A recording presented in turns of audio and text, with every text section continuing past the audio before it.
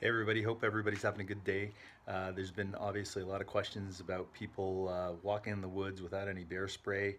We're at that time of the year right now where, um, you know, there's a lot of bears out there in the woods and uh, you need to be prepared. So there's a lot of people that don't know that uh, carrying bear spray in your backpack is not a good idea.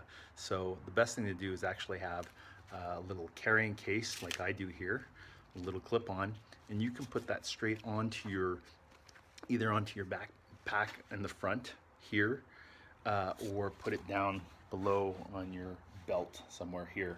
But it does need to be accessible and a lot of people think that, oh, I'll have bear spray in my backpack, that's gonna work. Well, you'll never have a chance of getting to it. Also, make sure that you check the expiry date on your cans. A lot of people don't know that, but uh, for example, on this one, it's on the bottom of it here, and it says expiry 01 2020. So, you know, it's good for a couple of more years here. And uh, remember, there's also a little piece over here that's got to pop off.